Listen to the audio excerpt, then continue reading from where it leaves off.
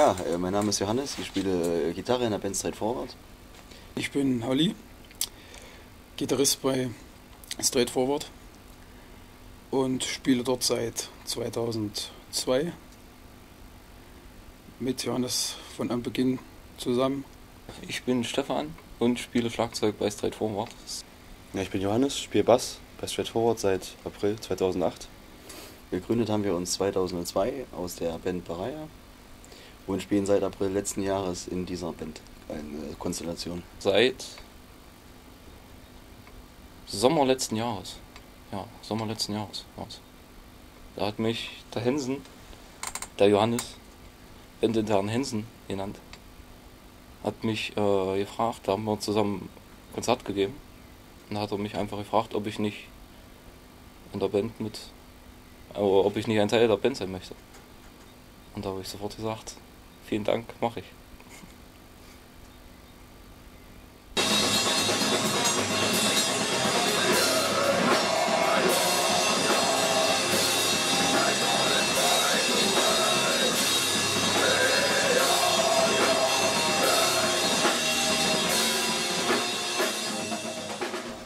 Mit der Gitarre habe ich, glaube ich, angefangen, als ich 14 war. Ich weiß es gar nicht mehr. Bei einem ähm, netten Herrn Hellfire aus Hedstedt. Das Instrument Gitarre spiele ich seit meinem 12. Lebensjahr. Hatte in der Musikschule einen ganz tollen Lehrer, Herrn Hellfire, wie den auch der Joey hatte, also Johannes. Und ja, der hat mich so erstens von der Seite her gefordert, dass es in die Richtung Rock'n'Roll erstens und zweitens dann in die Mitte ging.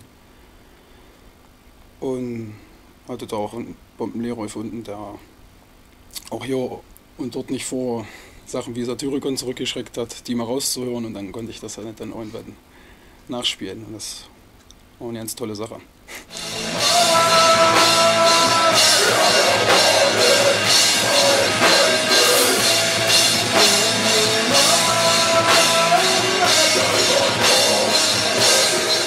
Ich spiele seit ich 13 Jahre bin äh, Gitarre und ähm, höre auch ungefähr seit der Zeit Metal-Musik.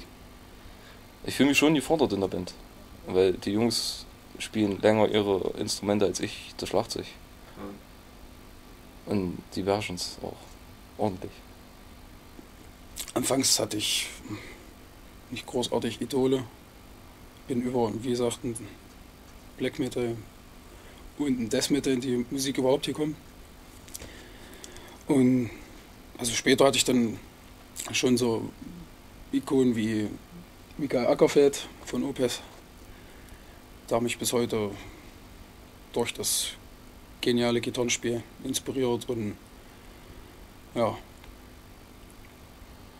Äh, Vorbilder, Idole,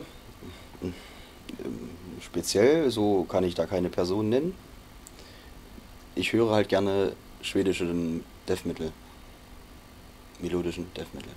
Ähm, also welche Musiker mich besonders in, inspiriert haben, ist zum Beispiel Cavalera, ähm, Max Cavalera. Ähm, Rise, geile Platte. Oder ähm, Rob Flynn ist zum Beispiel auch ein cooler Gitarrist und auch ein cooler Sänger.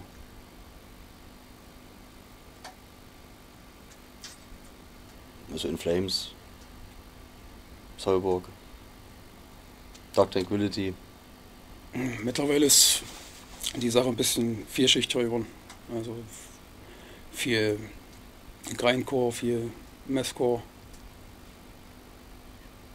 Hauptsache es wamst, also es muss immer schön scheppern hier und da. Ein bisschen Abgefahrenheit noch in die ganze Sache, dass man auch mal den Tellerrand weg scheppert. Das ist mir wichtig und dann ist Musik für mich gut, wenn sie vielschichtig ist und ja, einen gewissen Abgefahrenheitsgrad erreicht. Ich kann durch Musik, glaube ich, viel mehr mein Leben leben, als wenn ich jetzt Briefmarken sammeln würde. ja, ich will nicht berühmt werden, ich will einfach nur Musik machen. Will. Man kommt rum, man lernt neue Leute kennen, man trifft andere Bands. Man wird gefordert geistig und Als Schlagzeuger natürlich auch körperlich. ja, deshalb mache ich Musik.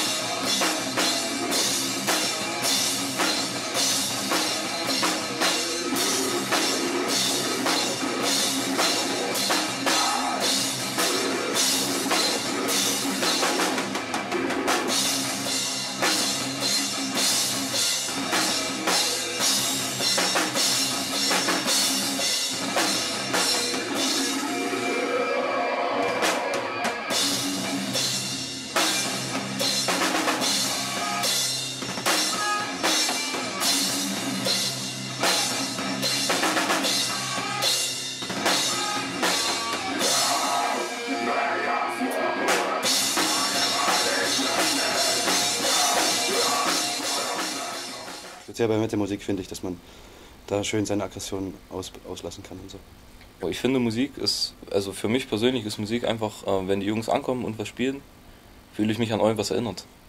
Was ich schon mal gehört habe oder so ähnlich halt.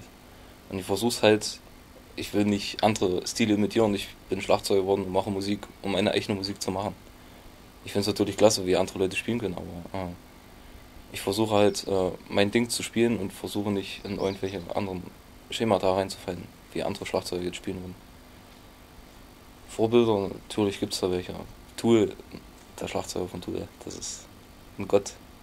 So kann man nicht spielen. Oder Simon Phillips von Dodo. Ach, da gibt es so viele, die man kennt ja auch nicht alle. Natürlich nimmt man sich ein Beispiel und will irgendwann auch so spielen können, aber das dauert. Und da bin ich froh, dass ich in einer Band spiele, die sich auch entwickelt über die Zeit. Ja. Es geht halt darum, ich mag das halt, ähm, wenn man mit, mit Leuten Musik macht, die ehrlich gemeint ist und das auch noch vor Leuten spielen kann.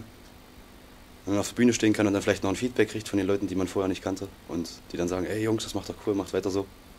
Ich denke darum jetzt primär, also an, außerdem fordert es einen, wenn man da sich melodisch irgendwie auslassen kann und dann irgendwelche Gefühle halt in, in die Lieder packen kann. So take my enemy, take my life. Take my enemy, take my life. Survive in the dust, keep this game. Survive in the dust of my brain. Run over evil, rise again. For what I am. Also die Musik äh, entsteht schon zu größten Teilen bei der Bandprobe. Ideen hat Holly zuhauf. Mir fällt manchmal auch was Gutes ein. Aber das meiste macht der Thorsten. Entstehung der Musik. Ja, ist immer so eine Sache. Also primär machen das Johannes und ich. Die Songs entstehen ja zum größten Teil irgendwie dann so ähm, in anderen Händen, also nicht in, in meiner Hand. Obwohl das dann, wenn das nachher zusammengeführt wird, dass wir dann alle uns ein bisschen einen Plan machen und das dann irgendwie ähm, uns ausdenken und zusammen schieben. Wir fallen manchmal in der Nacht, wenn ich aufwache, Riffs ins Gehirn, die ich dann äh, mit dem Handy erstmal eintuten muss, weil man hat ja nicht immer eine Gitarre dabei. Das ist mir auch schon auf dem Klo passiert. Und dann macht man da draußen einen Song. Zeigt das den anderen Jungs im Proberaum, die freuen sich dann auch mit. Oder sagen, Olli, weißt du, langsam reicht mir das. Ja, und dann kommt da größtenteils was bei raus.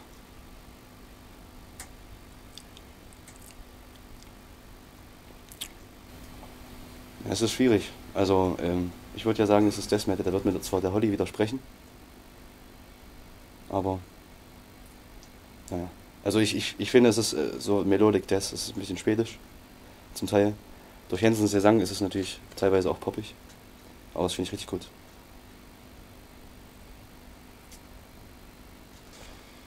Im Großen und Ganzen ist, glaube ich, sehr viel Schweden rauszuhören. Überwiegend schwedischer Death Metal. Das dann hier und da gepaart mit ähm, ja, kleinen abschweifenden Sachen, die sicherlich auch woanders zuzuordnen wären, aber im Gro, denke ich, ist das so unsere Richtung und so wird es dann auch klingen in der Richtung. Die Platte spielen wir ein im Outsane Studio in Eisleben mit Christian äh, Faust und Sascha Schettler, die die äh, letzten zwei CDs mit uns auch schon gemacht haben. Und das klappt äh, sehr gut und deshalb machen wir das wieder zusammen. Die Platte wird äh, heißen The Unspoken Truth The Unspoken Truth. Und textlich wird sich die ganze Sache bewegen in Sachen ähm, mach was draus in dieser schnelllebigen Zeit, ähm, nutze deinen Tag. Ähm, ja, es ist das Gros, was die Texte so betrifft. Ähm, vier Songs werden auf der Demo sein, plus ein Intro.